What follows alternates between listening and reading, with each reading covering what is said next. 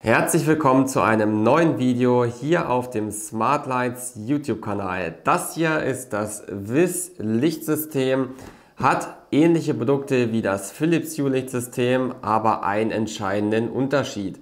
Was das genau ist, das zeige ich euch im Video.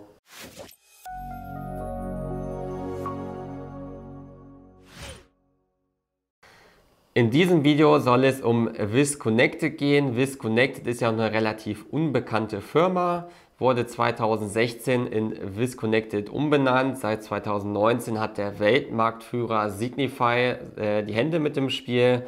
Signify ist ja auch von, von äh, Philips Hue bekannt und Philips Hue ist ja, sage ich mal, das größte smarte Lichtsystem. Signify hätte so gesehen mit diesen WIS Connected Leuchtmitteln auch WLAN-Lampen im Sortiment und das ist auch der größte Unterschied zu den normalen Philips Hue Leuchtmitteln. WIS Connected arbeitet mit WLAN, benötigt nur euren Router und damit werden die Lampen verbunden.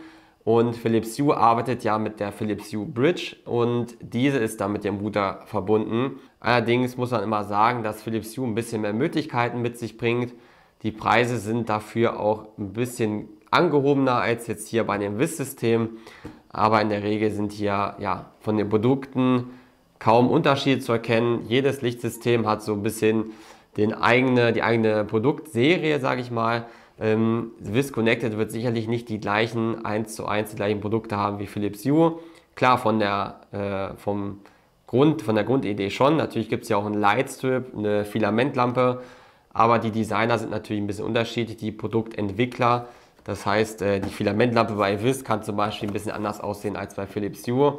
Und dadurch, dass die Übernahme jetzt auch erst seit ja, knapp zwei Jahren durch ist, wird man sicherlich noch nicht so die gleichen Produkte im Sortiment finden, wie es bei Philips Hue der Fall ist. Zudem hat Philips Hue auch den Vorteil, da gibt es Gradient-Produkte, da gibt es äh, Third-Party-Apps, die halt äh, iConnect Hue, Hue Essentials zum Beispiel, die gesteuert, damit gesteuert werden können also über die gesteuert werden können. Dann gibt es auch noch äh, Friends of Who Schalter, das Wandschaltermodul und, und, und. Das heißt, äh, wenn ihr noch gar kein Lichtsystem zu Hause habt, dann schaut euch auf jeden Fall auch das Philips Hue Lichtsystem an. In der Regel ähm, hängt es auch mal ein bisschen von den eigenen äh, Belieben ab. Ähm, ich könnte mir genauso gut vorstellen, hier auf das WIS-System von Anfang an zu setzen oder äh, zu sagen, was auf, ich nehme noch Philips Hue. Das ist halt immer ein bisschen von der eigenen Idee und auch vom Anwendungsbereich so ein bisschen abhängig. Was gibt es für Produkte von WIS? Die habe ich hier schon stehen. Das ist nur ein kleiner Bruchteil davon. Ähm, in der Regel gibt es natürlich noch ein bisschen mehr. Aber so die Klassiker wie ein Lightstrip zum Beispiel. Ähm, hier ein Bewegungsmail, dann gibt es auch bei Philips Hue. Dann gibt es hier noch eine E14 Filament, übrigens vor, äh, vor Philips Hue gab es hier schon bei WIS eine E14 Filamentlampe eine E27 in White äh, Ambiance, eine Filamentlampe mit, mit weißem Klarglas, dann ein Smart Plug gibt es natürlich auch. Und ihr seht schon, hier gibt es noch einiges mehr, ähm, auch eine Fernbedienung. Äh, was ich auf jeden Fall noch kurz sagen möchte, also euch zeigen möchte und nicht, bevor ich das vergesse, von WIS gibt es zum Beispiel auch ganz exotische Produkte, wie hier diese XXL Filamentlampe. Die gibt es bisher noch von keinem anderen Hersteller, zumindest kenne ich das nicht. Und WIS ist so gesehen auch dafür dann ein bisschen bekannt, ein bisschen experimentellere Sachen hier zu machen. Wenn ihr seht, wenn ich die so in die Kamera halte, ist das schon eine richtig, richtig große Lampe. Ähm, funktioniert genauso mit, äh, mit der WIS-App oder mit der Fernbedienung, wird dann einfach in den Sockel geschraubt und dann habt ihr hier einen relativ coolen Effekt, hat eine Helligkeit von 390 Lumen, verbraucht 25 Watt, also alles noch im grünen Bereich. Und ich denke mal, dass man mit so einem Ding auf jeden Fall ordentlich Eindruck machen kann. Ja, ähm, ich denke mal, dass ihr euch auch interessiert, wie sieht diese Lampe hier im eingeschalteten Zustand aus und wie funktioniert die App an sich. Ich versuche das Video natürlich relativ kurz zu halten und äh, deswegen werde ich jetzt zwei Produkte auspacken und hier aufbauen und dann zeige ich euch, wie diese dann in Aktion aussehen. Ich zeige euch jetzt, wie die Lampen im eingeschalteten Zustand aussehen und wie ihr diese auch in der Wiz Connected App äh, hinzufügt.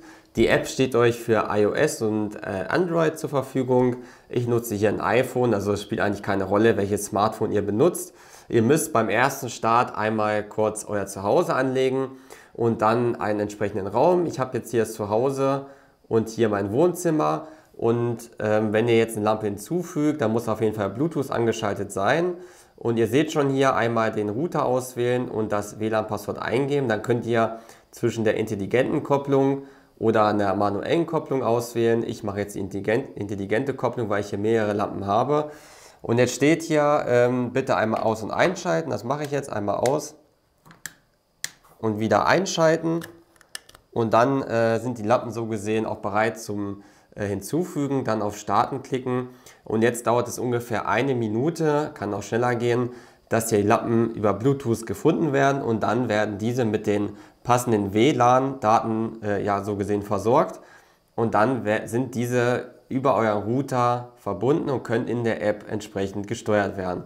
Bei mir sind jetzt alle drei Lampen schon hinzugefügt, einmal der Lightstrip, die Filamentlampe und hier die E27. Das heißt, ich kann jetzt hier schon auf Beenden klicken. Äh, könnt ihr jetzt hier noch ein anderes Icon auswählen, aber ich denke mal, die App hat hier schon eine gute äh, Vorauswahl getroffen. Und wenn ich jetzt sage, ich will das jetzt äh, auf jeden Fall behalten, springt er jetzt nicht rum, ist aber auch nicht so wichtig. Ähm, dann habe ich jetzt hier die entsprechenden Leuchtmittel hinzugefügt in meinem Wohnzimmer und jetzt kann ich halt sagen, dass ich hier die Farbtemperatur entsprechend verändern möchte, kann die Helligkeit verändern oder hier über diesen mittleren Button lassen sich auch noch verschiedene Szenen einstellen. Also hier ist auf jeden Fall für jeden was dabei. Interessant ist natürlich auch immer hier die Farbwahl. Ihr seht, jetzt wird die Lampe in Rot dargestellt, hier äh, in Blau, Grün. Das heißt, die Farben werden auch relativ kräftig wiedergegeben. Das sieht man immer ein bisschen besser, wenn ich die Helligkeit auch runter mache und die anderen Lampen dazu mal auch ein bisschen dimmer. Dann kann man das immer ein bisschen besser sehen. So, die sind jetzt schon gedimmt. Die mache ich jetzt noch mal ein bisschen dunkler. Wenn ich jetzt hier die Lampe auswähle und sage, ich will eine andere Farbe einstellen, dann kann ich hier auf Grün wechseln, auf Blau wechseln, auf Rot. Das heißt, äh, die Funktionen sind so auch von Philips Hue bekannt. Allerdings ist die App immer ein bisschen anders. Wie gesagt, sind ja zwei verschiedene Produktserien, aber der gleiche Hersteller. Und ähm, falls ihr sagt, ihr wollt eine Szene speichern, euch gefällt jetzt diese Szene hier, könnt ihr dann das auch immer noch abspeichern. Natürlich könnt ihr auch hier verschiedene äh, Rhythmen erstellen, einen Zeitplan erstellen. Die einzelnen Leuchtmittel lassen sich hier noch mit dem Symbol ändern. Also ihr habt ja schon eine richtig äh, große Auswahl. Auch das Einschaltverhalten kann man hier entsprechend steuern, zum Beispiel den letzten Status. Das heißt, wenn ich das einstelle, die Lampe aus und wieder einschalte, dann wird hier der letzte ähm, eingestellte Farbton wiedergegeben und die Helligkeit entsprechend auch wieder angepasst. Und das ist eigentlich eine relativ coole Sache.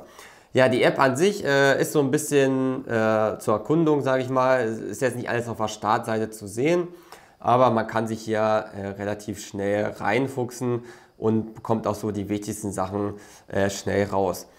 Ja, äh, ansonsten natürlich, falls ihr dazu Fragen habt, könnt ihr gerne äh, in die Kommentare stellen. Ich denke mal, dass ihr jetzt auch so einen leichten Überblick über das WIS-System bekommen habt. Ähm, wie gesagt, alle Lampen hier vorstellen, da würde ein bisschen länger, lange dauern, aber so habt ihr zumindest schon mal einen ersten Eindruck. Abonniert gerne den Kanal, wenn euch das Video gefallen hat und dann sehen wir uns beim nächsten Video hier auf dem Kanal wieder.